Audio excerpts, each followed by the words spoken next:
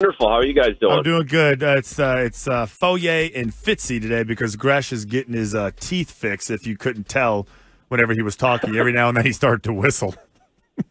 and you, I hope Fitzy's in charge. It's not you, right? No, Oh, no, no, no, They're letting me drive today. Thank you very much. Oh no. Hey, hey, Razor, Oh, have you ever gotten into an Uber and thought like maybe this would go better if I took the wheel? Basically every single time I get into an Uber. Yes, exactly. So I know how you feel, Fitzy. Yep, You, gotcha. you- you need to you need to kind of break down this whole. Listen, I know you're from Canada, and I'm sure, like you know, I don't want you to get in trouble with all your you know your countrymen if we start. What is you know, Trudeau teasing. going to tell him his Yeah. citizenship is revoked I- if he speaks out against Celine Dion? like, uh, did you? Why the, the whole Celine Dion thing was odd to me, Razor, just for a bunch of different reasons. I did they tell her to dress like Alexander Hamilton from the play Hamilton? Did they? She, did she think she was in a play? Well, I mean, you can't you can't do that, can you? You can't like judge someone's look and their fashion, especially Celine Dion. I mean, she's she's not just Canadian; like she's a massive, massive global star. I mean, she can't walk in any country, uh, and we're proud as Canadians to have uh, raised that. Hmm. Are you though? I don't. Oh yeah, for I, I mean, kind of. I mean, certainly more so than like? Justin Bieber, Justin Bieber, or something like that. Like, absolutely, Celine Dion. She's done a lot more than than most Canadians. Uh, but I would take her over Drake anytime. Oh, Drake. Um, so yeah, I'm not taking those guys. So so yeah, for sure. Um, interesting. I- Yeah, I, I don't know like how she ended up there or what. Like I don't know what the backstory was. I didn't work the game, so I didn't ask many questions. But you're right. It was kind of odd that of all people, like I was surprised she was there doing that. That was interesting. All right, so with let's see, approximately what eleven games to go till the end of the regular season, Razor, what is your primary concern about the way the Bruins have been playing, specifically since the All Star break? When, uh, well, let's just be honest, like they've been a little bit above a 500 team since then, but things aren't uh, things aren't things aren't going great. The goalie controversy continues to linger on. They still get pushed around too often. Um, what's your focus? If you're if you're Monty, what is your focus down the home stretch here before the greatest playoffs in all four sports begin in just under three weeks? Jeez, Fitzy, that's negative. I mean, they, you, they are still leading the NHL in points. Am I, did I miss something, or did I wake up and something's different now, or, or This is- what? no, this Um, is what happens with that. You put a Patriots fan next to Fauria on a cold Friday with nothing else going on, and I can't shake the stink Okay. out of me right now. So let me let me approach it this way. So the Bruins, hey, the Bruins still atop the division. Yes, they have 97 points, one of the best teams in hockey for sure. But still, there must be some area of concern that you have heading towards the playoffs in just a couple weeks. Oh, so much better for Friday morning. Thank Um, you. Thank you. listen, I think we saw a little bit after the game. Like Monty was kind of annoyed last night, and he talked about the consistency of this group from period to period, and and trying to battle through and get to the middle on good teams like the Rangers last night. In his opinion, they weren't able to do that enough, and he thought that the Rangers were better than them. So the I, I don't want to say concerned because again, I, I'm at the point now after last year, especially. It's we can talk till we're blue in the face about this group right now, but it all is going to matter in game one. Um, like we could say they're the greatest team, you could say they're the worst team, but we're really in a holding pattern with this group in in what they're going to do in game one of the playoffs and how their matchup is. Now, my concern is is how hard this schedule is going to be over the next three weeks in all of the playoff teams that they're playing, and and that also gives me uh, gives me a good feeling that they're going to get mentally and physically tested here over the last three weeks. They will not be taken by surprise at the intensity of game one. I think they're going to get a lot of that intensity over the next couple of weeks as they get into the playoffs. So it's a bit concerning, but it's also a good thing once they get to game one. So, what was the problem last night then? Overall, I I I, I just think that Monty wanted more from the group in, in generating more offense. They had a good first period, and, and we've seen them have good first or and then a bad second, or a bad first and a good second, and and it, it's just. I, I didn't think it was really bad. The goal at the end of the second, that's a killer. They were at a good spot at that point in the game. And and you give that up, and now you're going into the third down. I think that like it's just those little plays right now that that the coaching staff and I'm sure the players know that you have to shore up before you get into a seven game playoff series. So it, it seems like the details at times are what are frustrating the coaching staff. So, um, so you played uh, the Rangers three times. You lost three times in a row. Um, the most, the earliest possible time I think you can play them in the playoffs would be the Eastern Conference Championship. I'm, I'm thinking based on the way things are lining yep. up. Now, I, I guess like is is because you thought that you know one of the best teams was Florida. You thought you have to be worried about them, but it seems like you know the Rangers have your numbers. Like, what what is? How do you kind of you know? Uh, how do you figure that out? Like, is is this something? It's gonna it's gonna be a long time before you play them, but do they have the answers to the Bruins? Is is is the last three games kind of show other teams like this is how you beat the Bruins? I don't think so. I think I know the game in New York. I was there for that one. That was in before, right after Thanksgiving. Uh, it was a seven to five game. I, that has that's going to have absolutely no bearing on things. Rangers are a really good hockey team. They're they're going to be a hard out for any team that has to play them. Again, you you said it. Fortunately, the Bruins aren't going to see Carolina or the Rangers, and they can only see one of them in the conference finals. So if you get to that point, you'll be more than happy to to go up against one of those teams and and try your merit. The teams are going to look differently with injuries and everything else. I think the the the thing is is it's the the Bruins have got the best record against playoff teams in the NHL. So despite them being 0 3 against the Rangers, they have played playoff teams very well over this season. They just need to continue to build their game, and we're going to see a lot of. They're playing a lot of play. They're not going to go 10 and 0 through these playoff teams. There's just too much at stake for the other teams and we're going to have they're going to have different challenges throughout it, and I think that's just kind of part of what happened with the Rangers last night, and and I guess over the three games they played them. We are speaking with hockey insider, Sunday Skate co-host, uh, television analyst Mr. Hockey himself here at the radio station. Andrew Razor Raycroft joining the Gresh and Fauria program today, served with Fitzy on the Harbor One hotline. And just real quickly, like, hey, Razor, I told you I was going to call into the hockey show, uh, I don't know, a couple weeks ago yeah, before I left on Sunday, vacation. Oh, yeah. It's called Sunday well, the, the, show, the, the show where they talk about hockey, and I I sent Ken a message, Razor, and I said, hey. Uh, give me Razor's, uh, you know, hey, uh, give me Razor's phone number. I'm gonna make sure he's on. Tell him I'm calling in. He's like, well, no, he's late. He's not gonna, he's not gonna show up till ten. Do you remember yeah. that? Do you remember that you were late? Like you, you, you, you remember your excuse for why you weren't on time? Well, of course. My daughter was in the state semifinals, and her game went to overtime, so I had to stay for it. Of course. It okay, did she win? Family win? issue. Did, did yes, she, she did. Oh, there you congratulations. There you and then they won the finals. Right, too. That's so, a good yes, excuse. The, Blame it on the kids. Shout out to the girls. What did you want yeah, to hear? Always. What did you want to hear him say? Like, no, she didn't, and I made her walk home.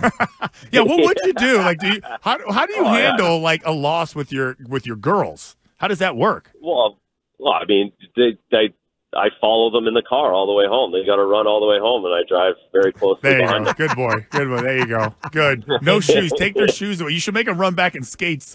yeah, that's right. It's got to be tough, There'll though. Be no therapy for that. You know, if I were a Raycroft child, or if I was like one of your 13 kids, uh, the Cromartie of WEEI over here, uh, it would be so difficult. So difficult, like playing football, following in your footsteps, or playing hockey in your footsteps, like – that's got to be like it almost be a relief. Like, Dad, I just want to be an artist. Like, whew, thank God. You know, it's got to be tough. I I I hope not, but I suppose there is some of that. There's there's definitely none of that in my car or in our house or anything. Like I I would have loved that they all just played soccer and I never had to put foot in a hockey rink ever again. So they they could quit today and tomorrow, and uh, Dad would have no issues with that at all. So um, I suppose there's some of that on the outside that they get at times, but uh, it's definitely not coming from from me. Because again, I could I could have three golfers. That would be pretty good.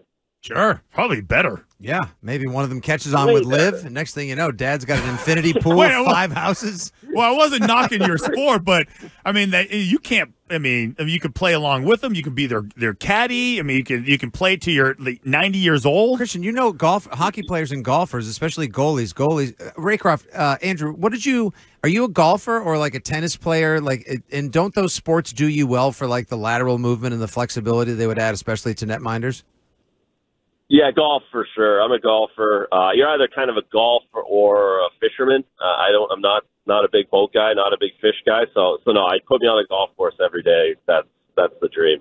Yeah, um, I remember Henrik Lundqvist one time told me that he loved loved playing tennis just because it kept him fluid left to right. uh, Going back to the Rangers, aka the Bruins' daddy this year, Christian. Um, you mentioned earlier, Andrew. You mentioned earlier. So you got 11 games left, and it is a devil of a schedule that the Bruins have. You got to play the Panthers a couple of times. You get the Canes multiple times. It's not going to be an easy rest of the way. Now, of course, if they make it through that and they're battle tested, that's great. And if you go in on a hot streak against really good teams, confidence builds. Like you said, we should be speaking positively of the team that still leads the NHL in points. But it's going to be grueling, and reinforcements will be necessary. Uh, is help on the way? And uh, what have you heard about Pat Maroon's status as he tries to make his way back to the team? They skated this week for the first time in a Bruins practice jersey. Probably a couple more weeks. I think the idea for him, if I was in charge, would be to get him back in the. You know, now he's around the guys, so now you can start feeling comfortable as a player. Get him back in a lineup or see where he fits in with what has been a really good fourth line the last month with with Brazeau coming up, Boqvist really taking a taking another step in his Bruins career, and then Beecher now being up. So where he fits in the lineup will be important. How he moves around, and then it's going to come down. He's going to be a big part of the first round, whether that's with the Toronto Maple Leafs and Ryan Reaves. They'll be negating each other's physicality against some of the star players. I hope, or the the the second round in the Florida Panthers. Um, those are kind of those matchups you look at where Pat Maroon and his experience is going to benefit this group. So talk about uh, Brazeau because uh, am, am I saying it right? Brazo. Yeah, it's pretty yeah, good. Yeah, big dude. He's a big boy. Um, Oh, 6'5", 220, 26 years old, uh, undrafted. Um, he's had a really good two games, uh, three goals. What three goals in two games? Um, how important is he? You know, you mentioned him after Fitzy's question, but realistically, how important is he? And, and, and do you think that he stays in the lineup?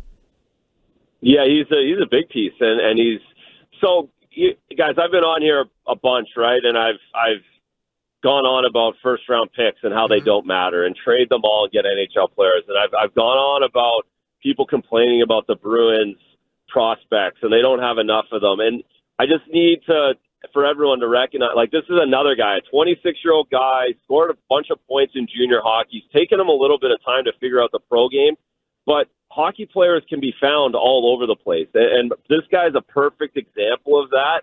You don't need a bunch of first rounders in your lineup, and you don't need them in prospects galore down in the. mi- You just need the right guys. And the Bruins have done a wonderful job at getting the right guys. The organization's done a very good job. So whatever the rankings are, whatever NHL prospect ranking some guy makes up, it doesn't really matter if the Bruins are in the top five or the top ten, as long as they have the right guys. And Brazeau's perfect because the Bruins needed some more length, they needed some more size.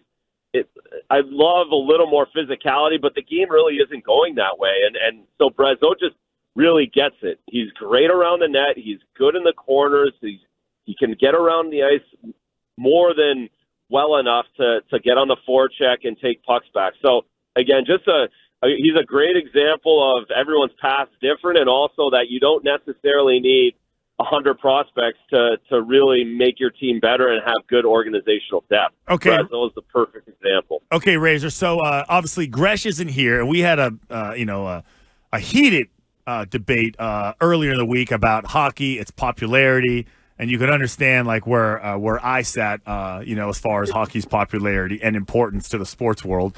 But so Gresh wanted to officially ask you a question, so he recorded it so I wouldn't screw it up and try to lead the witness. So here's Gresh's questions from the dentist chair. Razor, a question for you. I have always subscribed to the theory of playoff hockey is great.